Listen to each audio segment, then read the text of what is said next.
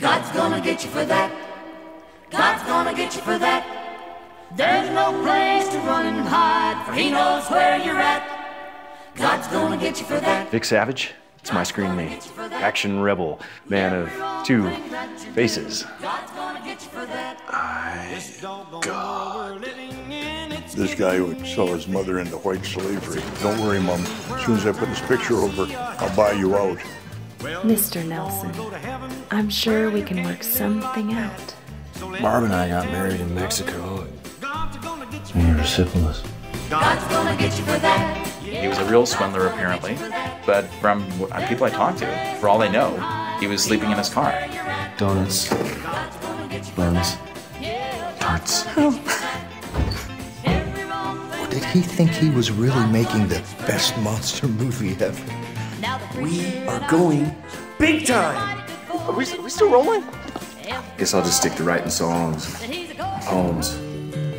I started a joke. Started the whole. You found Jesus and you're making a monster movie called The Creeping Terror? Do I have to say it? I didn't see What do you care about this guy anyway? The monster movie never lost money. that the joke was Jesus, on me. Mary, and Joseph. Look at Corman. That guy never lost a dime. Bugs and crabs, that's all he uses. If the guy can take a traffic cone, give it teeth, and make a mint, think about what we can do with that thing. Not my soul! I will kill you. Well, they call that show business, but uh, it's not a business. Okay, so I'm just supposed to make something out of nothing and then see if you like it, and then I get paid. Hooray for Hollywood.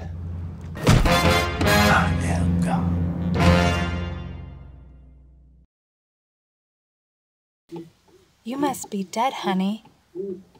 After driving all night. What time is it? Almost 4:30.